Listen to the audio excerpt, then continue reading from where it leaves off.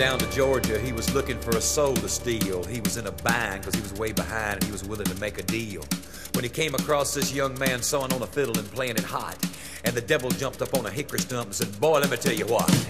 I guess you didn't know it, but I'm a fiddle player too. And if you'd care to take a dare, I'll make a bet with you. Now you play pretty good fiddle, boy, but give the devil his due. I bet a fiddle of gold against your soul, cause I think I'm better than you. The boy said, My name's Johnny, and it might be a sin, but I'll take your bet you're gonna regret, cause I'm the best as ever been. Johnny, rosin up your bow and play your fiddle hard, cause hell's broke loose in Georgia and the devil deals the cards. And if you win, you get this shiny fiddle made of gold, but if you lose, the devil gets your soul.